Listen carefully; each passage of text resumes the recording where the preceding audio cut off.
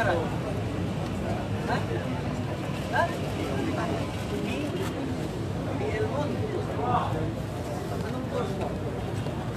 Yan ba ang tinuro sa inyo?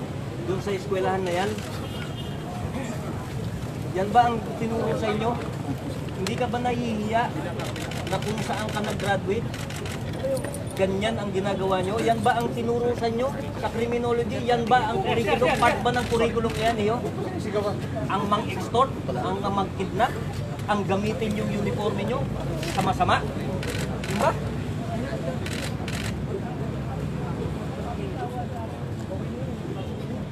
Four years ka pa lang sa serbisyo. O ito, para magkaliwanagan tayo. Sabihin nyo kung ano ang pa ang dahilan. Tinanong na sa inyo ng arte nyo yan, ano pa ang dahilan kung bakit nyo ginagawa yan. Sige nga, para, ma, para malaman natin, once and for all, ano ang dahilan. Dati ang dahilan natin, maliit ang sweldo. Di ba? Ngayon, malaki na ang sweldo, doble na. O ngayon, sabihin mo, ano pa ang dahilan? Sabihin mo, may konti pa. Sumod ka. Ha? Ilan na asawa mo? Isa lang. Sigurado ka. O ilan ang kabit mo? O ilan ang anak mo sa labas? Wala. O anong trabaho ng asawa mo? Wala. O may anak na kayo? Ilan? Dalawa. O sa tingin mo, yung sweldo mo, hindi kaya nang ah, pakainin yung ah, asawa mo at dalawang anak mo? O. Apat na taon, ilang taon mo nang ginagawa yan? Ilang taon yung gin- ginagawa yan? Ha?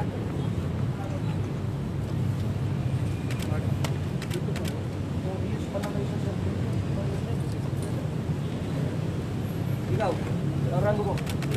B1, ilang taon ka lang sa servisyo? Ha? Apat, magkaklase kayo? Ah, anong school mo? Pareho kayo ng eskwelahan? Ha? Anong school mo? Saan ka nag-graduate iyo? University Uh, CCN sir. Big City College of Manila. Yeah. City College of Manila. Sir. Ha? Diyan ka nag-graduate ng criminology? Yes sir. Tinuro ba sa inyo yan? No sir. Ha? No sir. Hindi kayo nahihiya kung saan kayo nag-graduate, di mo? Ha?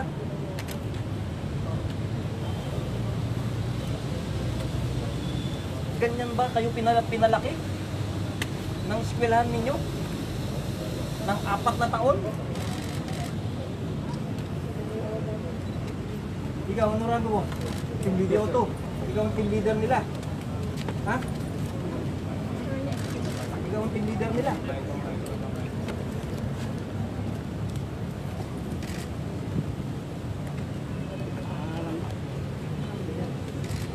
nasa isip nyo at uh, oh, gusto yung magpayaman sa maling paraan?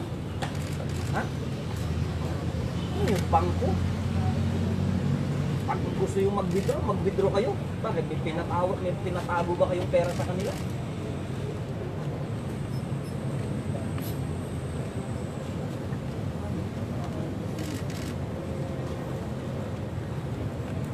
Ngayon, tanong ko sa inyo, madidismiss kayo sa serbisyo, makukulong pa kayo. Anong mangyayari sa pamilya niyo? Sa tingin niyo?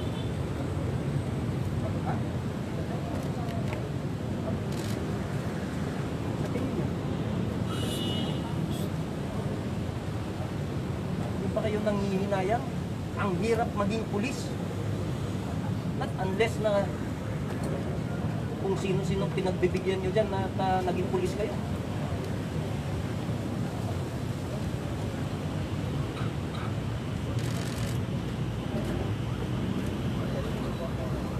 Kayo tinuro sa inyo. Ha?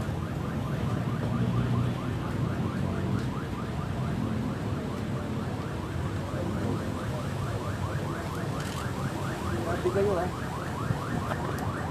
Ay, hindi nyo ba nakikita na araw-araw may nahuhuli? Halos araw-araw may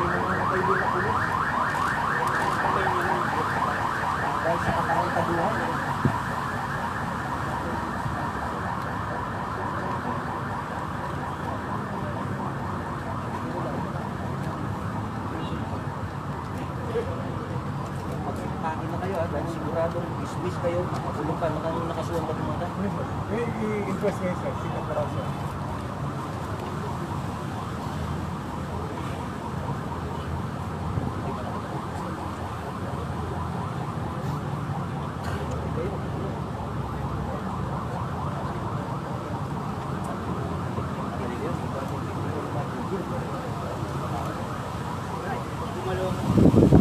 Meron ba kayo tento kung sa sweldo?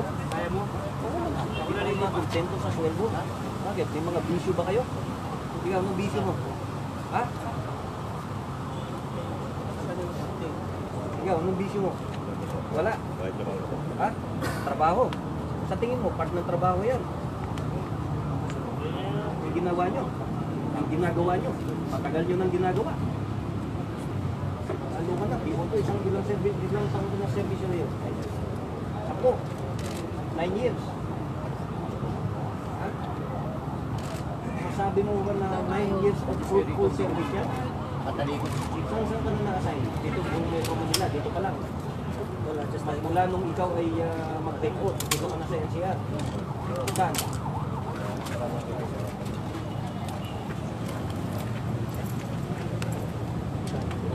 Ba't ka natanggal ka na sa Panyari?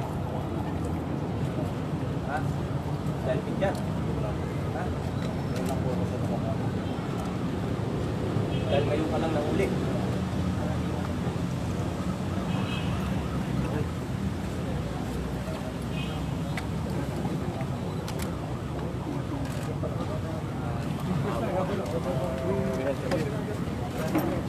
Okay. Balik na tayo. Okay, balik, balik, balik.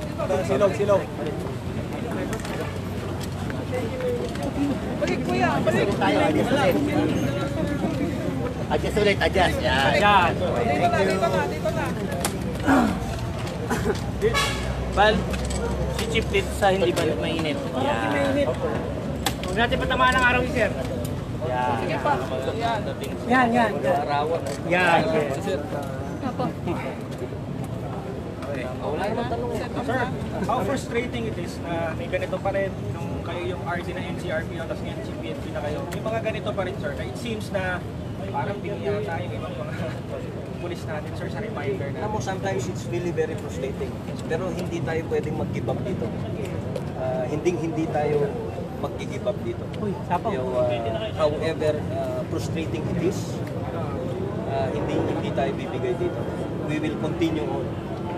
Sabi nga natin kanina, nasabi ko that we will be relentless and resolute in our internal tension. Sir, in connection to this, sir, may mga inuwartan din kayo, sir. Ah, ano yung gusto nating ipakita, sir, na despite na may mga bad eggs, and ah, meron pa rin tayong, kinikilala pa rin natin yung mga gusto accomplishments. nating ipakita na hindi lang naman tinitignan natin dito yung mga bad eggs na sinasabi. Ah. Tinitignan din natin yung ah, mga pulis natin na mas marami sa aming hanay na gumagawa ng tama. Kaya itong internal cleansing natin, sinasabi natin, it will be, ah, ah, it will involve ah, preventive, it will be preventive, yeah, it will be punitive, and it will be restorative.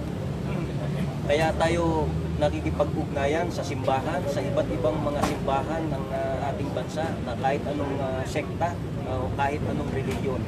Meron tayong tinatawag na ah, ugnayan sa simbahan at, at ng ating pulis para makatulong sila dito sa ginagawa nating ah, ah, preventive measures and also yung restorative natin uh, restorative part of our internal policy.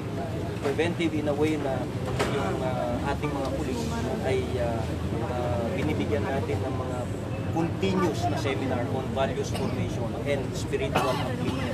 Yung tinatawag nating spiritual cleansing on our uh, rank and file. Sir, nung ikaw yung RD ng NCR, ah, meron kang minomonitor ng mga bad eggs, sir. no? Ah, kamusta na yun, sir? Ilang percent na tayo doon sa mga namomonitor natin ng mga bad eggs sa atin? Actually, isa yan, no? As part of our uh, uh, recalibration na tinatawag is our uh, counter-intelligence uh, effort also.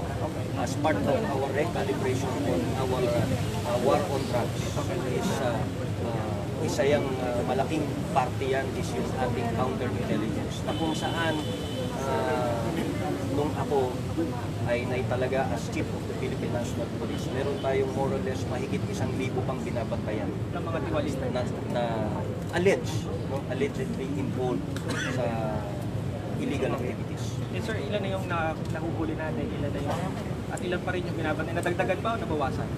Actually, nababawasan yan. No? But then again, hindi natin alam kung meron pang iba. Kaya nga, uh, sabi nga natin, kailangan natin maging uh, sharp dito.